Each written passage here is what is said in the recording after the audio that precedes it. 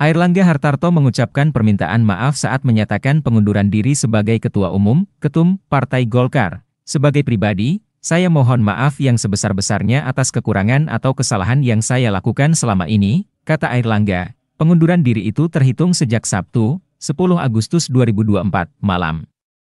Airlangga mengatakan, keputusan ini mempertimbangkan keutuhan Golkar dan stabilitas transisi pemerintahan yang baru.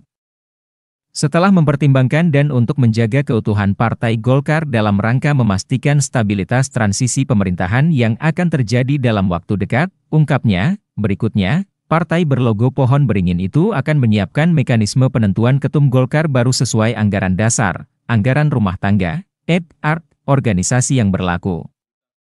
Selanjutnya, sebagai partai besar yang matang dan dewasa, DPP Partai Golkar akan segera menyiapkan mekanisme organisasi sesuai dengan ketentuan ed, art organisasi yang berlaku, bebernya. Semua proses ini akan dilakukan dengan damai, tertib, dan dengan menjunjung tinggi marwah Partai Golkar, ucap Airlangga menambahkan. Politikus yang kini menjabat Menteri Koordinator Bidang Perekonomian itu juga mengapresiasi kontribusi Golkar memenangkan pasangan Prabowo Subianto Gibran Raka Buming Raka dalam Pilpres 2024.